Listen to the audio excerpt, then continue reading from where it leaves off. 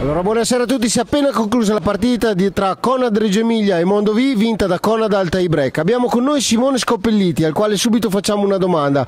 Simone, quale fondamentale ha fatto la differenza secondo te? Sì, è stata una partita abbastanza difficile e molto combattuta, soprattutto perché siamo andati avanti sopra di due set e poi speravamo di chiuderla al terzo, invece abbiamo subito un po' il nostro gioco espresso ad alti e bassi, e però siamo stati molto bravi a, a riprenderla al quinto set, al tiebreak e riuscire a portare a casa eh, due punti che sono sicuramente importanti per la classifica.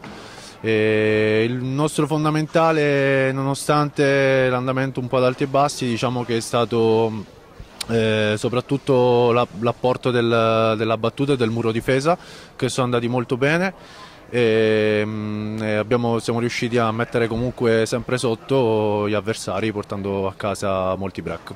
Simone, arrivare al tie break al Palabigi, quanta tensione c'era in quest'ultimo set? Sì, è stata una partita molto tesa, soprattutto eh, perché eravamo in vantaggio di due, poi ci siamo fatti rimontare, quando pensi che che la partita ormai sia andata, invece riuscire a tirare ancora qualcosa eh, vuol dire vuol, ha un valore ancora in più, ha un valore ancora aggiunto.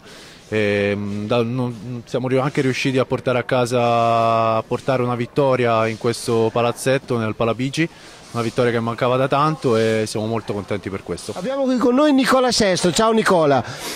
Quanto ha influito l'allenamento durante questa settimana e soprattutto quanto ha influito la vittoria anche della scorsa partita per ottenere un risultato importante in casa al Palabigi? Beh, sicuramente due vittorie consecutive veramente non, non succedevano qua a Reggio Emilia da, da, forse due anni, dalla stagione in cui abbiamo fatto i playoff, quindi sicuramente siamo molto contenti. L'allenamento influisce perché comunque... Eh, quello che fa in settimana eh, poi cerchi di riportarlo in partita, però l'allenamento non è non basta a volte perché poi in partita ci succedono diverse, ci sono diverse variabili tra cui quella dell'approccio mentale alla partita, quella dello stare sempre lì, non, non mollare mai, l'abnegazione, forse questa qui è una cosa che non si allena ma che dovremmo tirare fuori. Qual è stata secondo il tuo punto di vista la svolta della partita? Ma guarda, per i primi due set abbiamo, siamo riusciti abbastanza bene a gestire la, la, la, partita, insomma, in tutti i fondamentali. Poi c'è stato un calo che bisogna vedere se è un calo fisiologico, se è un calo psicologico, non lo so. Eh, abbiamo un po' subito il, il, il rientrare di Mondovì. Era una partita che comunque volevamo vincere e che dovevamo vincere soprattutto in casa perché non, non si vinceva da, da più di un anno e quindi una, una vittoria fortemente, eh, fortemente desiderata e fortemente voluta, quindi bene, bene, però sicuramente ci sono diversi spunti che possiamo prendere per migliorarci.